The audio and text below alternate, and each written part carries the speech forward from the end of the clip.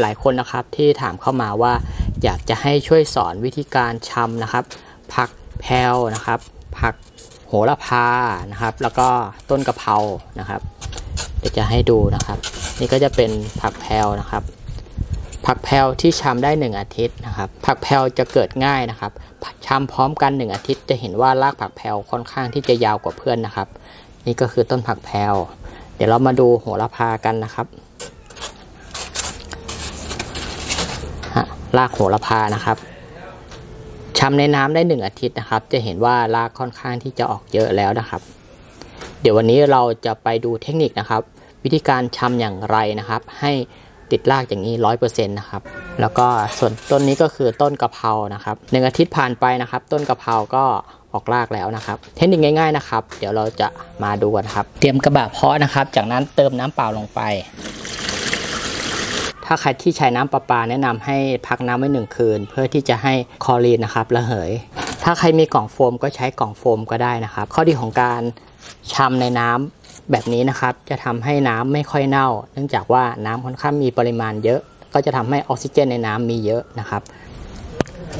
เทคนิคในการเลือกกิ่งชำนะครับ ถ้าเป็นผักแพลนะครับ เราก็จะตัดเลือกกิ่งที่สมบูรณ์นะครับ แล้วเราก็จะตัดประมาณนี้นะครับ ตัดประมาณสัก 10เซนนะครับ แล้วเราก็จะตัดใบข้างล่างออกนะฮะให้เหลือใบคู่บนนะครับ ประมาณนี้นะครับ ตัดเสร็จแล้วให้ชำน้ำทันทีเลยนะครับ อย่าให้โดนลมนานนะครับ ตัดเสร็จก็ให้ชำในน้ำเลย โหระพานะครับ ก็เลือกยอดที่แข็งแรงนะครับ แล้วเราก็ตัดนะใบข้างล่างออกนะครับ ประมาณนี้นะครับ ตัดเสร็จแล้วนะครับ ต้องรีบ แช่ลงในน้ำนะครับอย่าให้โดนลมนานไม่งั้นนะครับ ยอดจะเหี่ยว ต้นแมงลักก็เช่นเดียวกันครับ เราก็จะเลือกยอดที่แข็งแรงนะครับ แล้วเราก็จะตัดแต่งกิ่งคู่ข้างล่างนะครับ ต้นกะเพราเราก็เลือกยอดที่แข็งแรงนะครับ ไม่แก่แล้วก็ไม่อ่อนจนเกินไป ตัดประมาณ 5-10 เซนนะครับ จะมีต้นผักแพรวนะครับ ต้นเดียวที่เราตัดประมาณ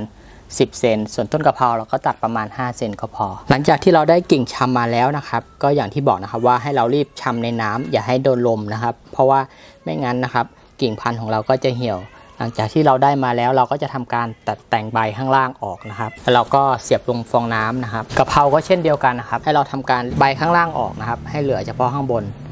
สักสองคู่ก็พอ ประมาณนี้นะครับ แล้วก็ชำลงฟองน้ำนะครับ ถ้าแนะนำนะครับ แนะนำให้ชำช่วงเย็นนะครับ หลัง5โมงเป็นต้นไปนะครับ แดดจะไม่ร้อนมาก แล้วก็ผักก็จะได้มีเวลาในการปรับสภาพนะครับ ในช่วงกลางคืนถ้าเราทำกิ่งสดๆแบบนี้นะครับ จะทำให้โอกาสในการติดถึงร้อยเปอร์เซ็นต์เลยนะครับโอเคเสร็จเรียบร้อยแล้วนะครับ เราก็ยกไปไว้ในร่มนะครับ ทิ้งไว้ในร่มนะครับ ประมาณ 1 อาทิตย์นะครับผ่านไป 1 อาทิตย์ก็จะเริ่มออกรากนะครับ จะเห็นว่าต้นผักแพลวนะครับ จะออกรากเร็วกว่าเพื่อนนะครับ เพราะว่าจริง ๆ ผักแพลวถ้ากิ่งสดนะครับชำก็ประมาณ 3-4 วันนะครับรากก็จะเริ่มออก ส่วนโหระพานะครับ โหระพา 1 อาทิตย์นะครับ จะเห็นไหมครับว่ารากก็จะเริ่มออกมาแล้วนะครับ ที่เราชำนะครับ เราชำในน้ำเปล่า ในช่วงที่เราชำหนึ่งอาทิตย์ เราก็จะยังไม่เติมปุ๋ยนะครับ พอ รากเริ่มออกแล้วนะครับ เราจะเริ่มเติมปุ๋ย A แล้วก็ปุ๋ย B นะครับ จะเห็นไหมครับว่าถ้าเราเลือกกิ่งชำที่อ่อนเกินไปนะครับ ก็จะทำให้ลำต้นเน่านะครับ ก็จะไม่งอกนะครับ น่าจะเป็นกิ่งที่อ่อนเกินไปนะครับ มาดูต้นกะเพรากัน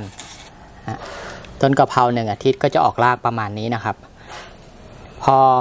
รากเริ่มออกเราก็จะเริ่มให้สารอาหาร A แล้วก็ B นะครับน้ำในกระบะเพาะนะครับมี 10 ลิตร เพราะฉะนั้นนะครับ เราก็จะเติม A ลงไปก่อนนะครับ 10 ลิตร เราก็จะเริ่มเติมลงไป 50 ml นะครับ 50 ml เราก็ใส่แล้วก็คนน้ำให้เข้ากันนะครับ คนน้ำให้เข้ากันทิ้งไว้สักครู่นะครับ จากนั้นก็เติม B B ก็ 50 ml เหมือนกันครับ ผักสวนครัวนะครับ เป็นผักที่ชอบแสงไม่แดดจัดนะครับ ชอบแสงลำไร เพราะฉะนั้นนะครับ ก็ควรที่จะให้ได้แสงลำไรผักก็จะโตนะครับ พอเริ่มโตนะครับ เราก็จะย้ายลงกล่องโฟมนะครับที่ใหญ่ขึ้นนะครับ ย้ายลงต้นละ 1 กล่องโฟมนะครับ จะให้ดูนะครับ อันนี้เป็นผักแพลวนะครับที่ปลูกได้ 6 เดือนนะครับ ต้นค่อนข้างที่จะโตนะครับ แล้วก็กินน้ำเยอะนะครับ ยิ่งโตผักก็ต้องยิ่งกินน้ำเยอะเพราะฉะนั้นนะครับ เราก็ควรใช้กล่องโฟมที่มีขนาดใหญ่